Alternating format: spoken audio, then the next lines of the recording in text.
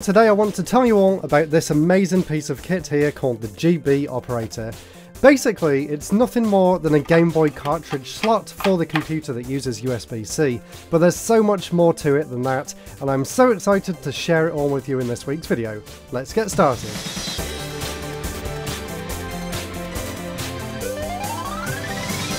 So like I said, at its core, all this is, is a cartridge slot for the computer that allows you to play Game Boy Advance, Game Boy Color, and original Game Boy games, all on the PC or on Mac, and I've tested it on both, and I'll be going into detail later on in the video, but there is a lot more to it than that. It can also function as a read and write device for cartridges as well. So if you've got a flashable Game Boy or Game Boy Advance cart, and you want to, for example, put a homebrew game on there, or put something that you've been working on onto a Game Boy cartridge and actually test it in a real system, you can also do that too. It also allows you to make backups of your actual physical game collection, which is fantastic for many reasons. Of course, if you just want to transfer all of your official games onto an EverDrive, this is a great way to do that.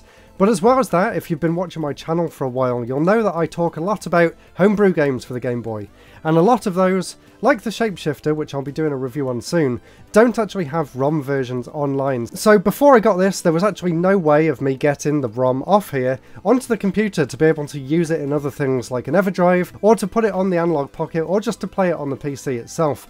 But with this, you can actually put the cartridge in, take the ROM off the cartridge and save it as a file on your computer, which then of course you can do whatever you want with. So that is fantastic, but there's even more to it than that. This can also back up all of your save data. So if you're worried about batteries going in cartridges, or maybe you've found a better save file online that you want to add to your official game, you can actually do this through here too, using the save read and write feature in the program, which is really cool. Another really cool addition to this, and something that I didn't know this was actually going to be able to do until I picked it up. If you put the Game Boy camera in here, it can actually read the files on the Game Boy camera and allow you to save those original images onto your computer so that you can upload them to Instagram, save them on Facebook, whatever you want to do with the pictures, you can get them right off here. Unfortunately, you can't actually run the camera from this, so you can't like use it for a webcam or anything.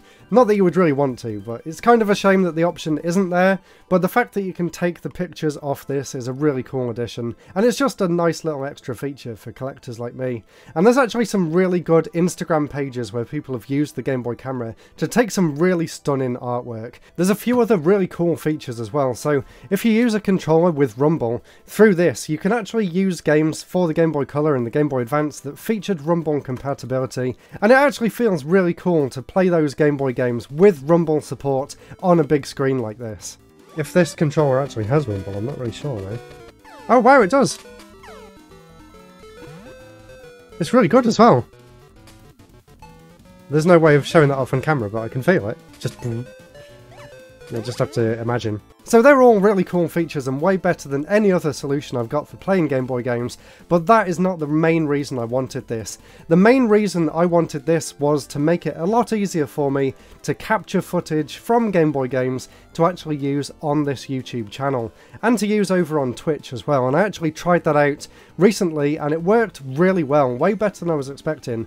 It was a struggle to get it all set up and running because there are a few quirks with the program that comes with this piece of hardware that I'm not a huge fan of. For one thing, when you're playing the game, if you even slightly move the cursor over the screen, a bar pops up at the bottom showing the system settings and the volume adjuster and stuff, and it takes a while to disappear, so if you're capturing the game window in order to stream it to OBS, to capture gameplay or to stream it over on Twitch, then you have that unsightly bar going across the bottom. So what I ended up doing was extending the window to the top and bottom of the screen so that when I hovered over it, the bar wouldn't actually appear over the gameplay, and then just crop it back down in OBS, and that seemed to work quite well. There were a few other issues that I ran into, mostly around the way the screen audio recording works on Mac, but I managed to figure all that out in the end, and I have to say that using this to capture Game Boy games is so much easier than anything else I've done in the past. I had to go over there, plug the GameCube in, find the disc for the Game Boy player, set it all up, get all the capture stuff sorted. It was just a bit of a nightmare and then there was always a delay of it coming over to the TV if I wanted to stream games. But with this, I've just left this, sat next to my laptop, and it just works absolutely perfectly now I've got everything set up. Another really cool feature that this has got, and something that is definitely very helpful to collectors like me, is the ability to check whether a cartridge is real or fake. And through using this, I actually found out that a few games I wasn't entirely sure whether they were real or fake, actually both turned out to be fake. And look at them here, you can't really tell that they're bad quality or anything, especially with Kirby. I honestly thought this was a genuine copy for the longest time. So thanks to this, I've actually managed to figure out that that's a fake, and now I can try and track down an official copy. It does get a little bit confused sometimes. I did try it out with those like weird fake 101 carts for the Game Boy Advance, and it thought that was an official version of Final Fantasy VI for some reason.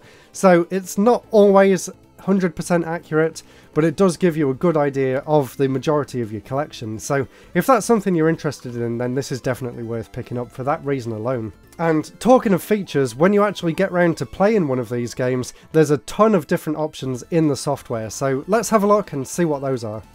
So here's how the program looks as soon as you turn it on. Basically, once you put a cartridge in, You'll get the box art for the cartridge on the side, as well as the status of the cartridge as well, so you can check to see whether it was official or not, and whether it's a read-only or a read-write cartridge. You also get the name of the game, and the region it was released in, as well as the developer or publisher, and a little brief description about the game as well. If you go on the data side, this is where you can actually download the game so that you can actually take the ROM off the cartridge. So let me show you how that works. Press start, basically give it a name and tell it where to save press save, and depending on the size of the game, it might take a while, and then basically there's the game. So once you've got that file, then you can put it onto an emulator, or you can put it onto an analog pocket, or whatever other kind of flash cart you've got. So that is a really cool feature. If you do have a rewritable cartridge, such as this one here, if you go on the data option, you do get a few other options as well. You can also upload a game, which allows you to select a ROM and upload it back to the cartridge, but I'm getting a bit carried away. Let's start with an original Game Boy game and just show you how it works in the system. So when you press launch, the game boots up straight away, and you can already see the first issue, and that's the fact that this menu bar here comes up over the screen so what I did in order to fix that was actually create a second tab on here and just simply extend the top and the bottom of the window like that and then we have a nice clean output inside OBS and I just cropped it to fit into the resolution that I'm using for my videos. But there's so much more to this program that I want to show you as well so let's have a look at some of the settings in here and I can go through them. There's a lot to get through but it's all really interesting so stick with it. So let's just start at the top. So the first thing we've got is the option to autosave back to the cartridge, which is great. So that basically means if the game has a save option, then you can actually play it using this software, save it on this software, and as soon as you take it out of there and put it back into a Game Boy, you'll be able to carry on from where you left off, which is brilliant. The next is an option for fast forward. So on the actual software itself, you've got these two arrows here and you can see if you click them the game speeds up by the amount that you chose in here. So you can go as fast as five times. So if we save that and then press fast forward then you can see it's actually going five times as fast which of course would not be very playable but is great if you want to skip some boring segments in RPGs and you can also go as slow as 0.25 times as well. So that is what that looks like which again might be useful, especially for some action games. So that's great that that's included. It's definitely helped me get through some of these slower paced games for the system. Now next you can actually detect what kind of Game Boy you want it to boot up in. Auto detect will be able to pick it out most of the time, but if you, say for example, if you were playing one of the Zelda Oracle games, you could actually set it to be a Game Boy Advance instead of a Game Boy Color so you get the extra Game Boy Advance options. For the Game Boy original games, it just gives them one of the default colour palettes. And we'll get back onto colour palettes in just a minute. I'll skip over these two. These are basically if you want to use custom BIOS instead of the built-in ones, or if you want to be able to skip the intro animation, which I'm not too bothered about. Something I am more interested in, though, is the colour palette options. And there is a fantastic range of choices here. So you've obviously got the classic grayscale option, as you can see, just a basic black and white image. You've also got option to show it as the original DMG style, which is the pea green colour that everyone loves so much. One thing I wish they would improve with this menu system is the fact that the save button's hiding off down the bottom, so you have to always scroll back up to where you were if you want to check whether uh, a change you made actually made a difference or not. It'd be great if there was like a little checkbox down here, or if they moved it to this side section, maybe. Maybe that's something they could implement in the future. It is still in beta, but I'll show you a few more of these. So there's the Game Boy Pocket theme. I actually quite like that one. There's a whole load of different options. This brown one is quite nice. I actually really like that style. It kind of reminds me of how Game Boy games used to look in magazines back in the day when they had screenshots on the pages. So I might end up using this one for my Game Boy videos in the future. Not sure. It also includes all of the Super Game Boy um, templates as well. So I can't re really remember what they are, but there you go.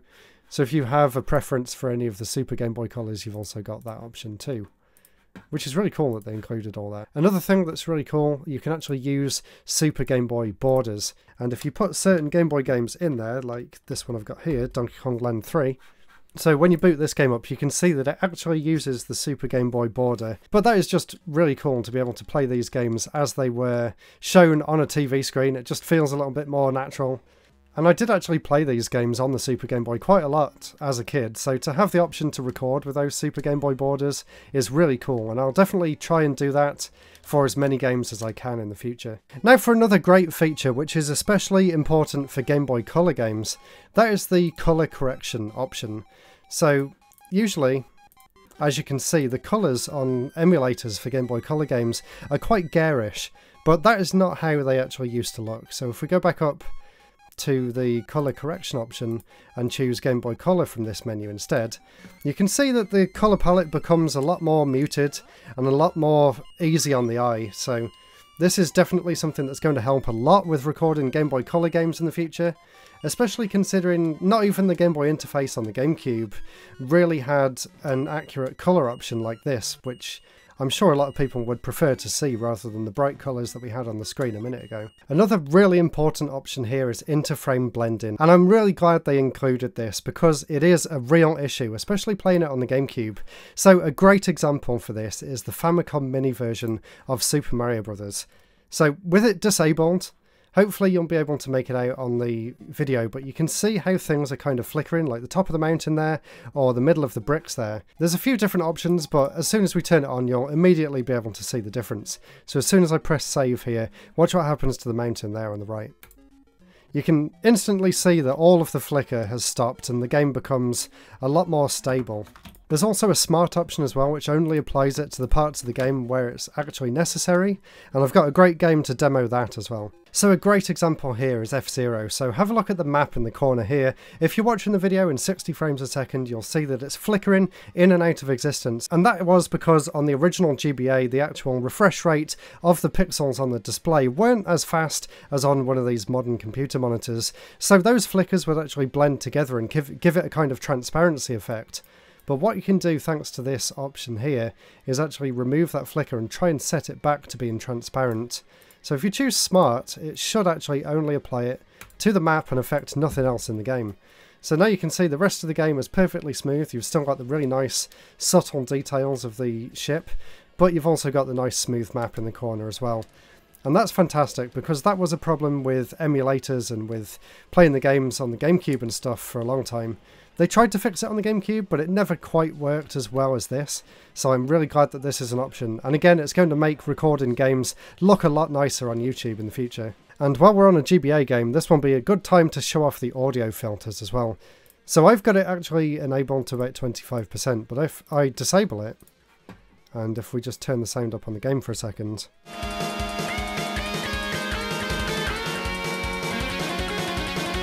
and then if I enable the audio filter and maybe make it a bit more prominent, I'll put it on 60%, just listen to the difference here.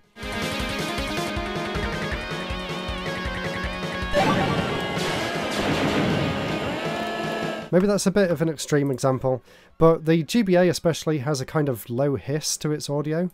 So if you set this to about 15-20%, the game should still sound clear, but it will actually get rid of that low hiss and just make a better overall audio experience. So it's great that that's an option too. Now this is something really cool. This is the option for enabling rumble in the games. And I've got a PS4 controller that I'm playing on here on the Mac, and I've also got an Xbox controller for my PC as well, and both of them support Rumble in games. It's even got a solar level, so if you're playing Boktai and you want to set the sunlight to a certain degree, you can also do that. And you've also got the option for Game Boy Player Rumble as well, because certain games supported Rumble on the GameCube if they were played on the Game Boy Player, like the Mario and Luigi game. There's also a few performance things here which I haven't really dived that far into because the, both the computers that I've got don't really need to have frame skips or anything to be able to run the games at full speed. But if you do have a lower end PC or Mac, then you can tweak these settings here to try and get it to run a bit smoother for you, but just leave these as default, I think. There's also a few options for the device itself, such as choosing how you want the LED on the front to look, and there's a few more options coming soon. You've also got gamepad settings here, so as you can see I'm using a PS4 controller and you can rebind the keys, so it's going to move the game, but you can just rebind the keys to whatever you want, like that, and then just press save. And you can also do the same on a keyboard if you need to.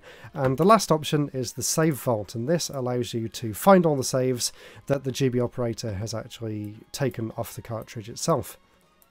So if we expand this section here, you can see that there's my save for F-Zero GP Legend, and if I wanted to use this save for a different system perhaps, or if I wanted to send it to a friend or post it online or something, then you can just go in there, grab the save file, and then you can just put that wherever you need it. I really hope this was an enjoyable and informative video. If you want to get one for yourselves, I'll put a link in the description.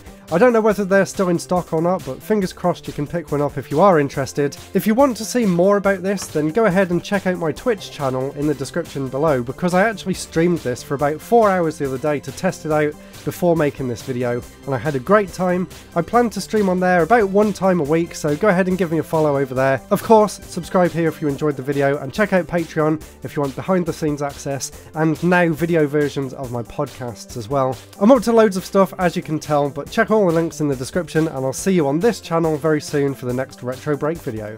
Goodbye!